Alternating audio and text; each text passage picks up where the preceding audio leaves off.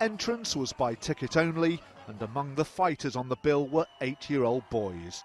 Imagine what these guys are going to be like in 15 years' time. And uh, you, you look at that, flies in for a single. Ray Single gets the side control.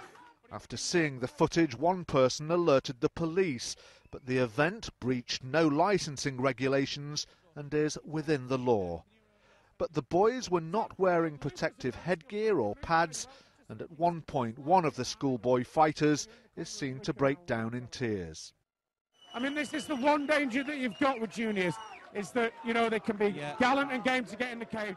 Despite widespread condemnation, one father told us he was completely happy for his nine-year-old son Kian to take part. He does it himself. Nobody forces him to do it.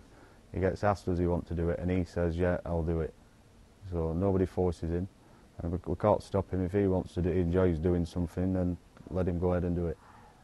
You know, when you get into the cage, what, what's your feeling when you're going into the cage? What, just describe that for us. Excited. And what do you like about it? It's fun.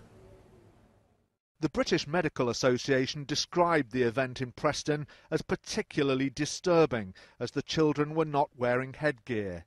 The NSPCC joined in the criticism, saying that at the age of eight, children's bodies were still developing physically and mentally. The British Cage Fighting Association said it was totally against the participation of children. It said, This is disgusting, and any parent that allows their child to cage fight must be a moron.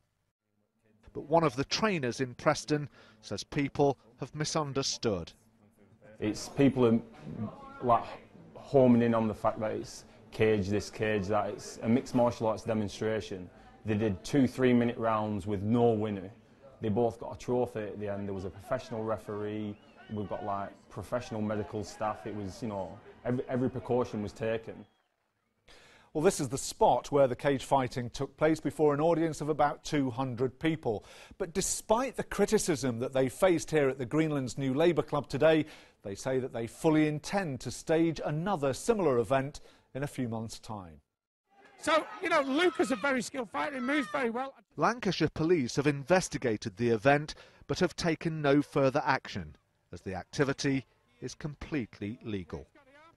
Mike McCarthy, Sky News, Preston.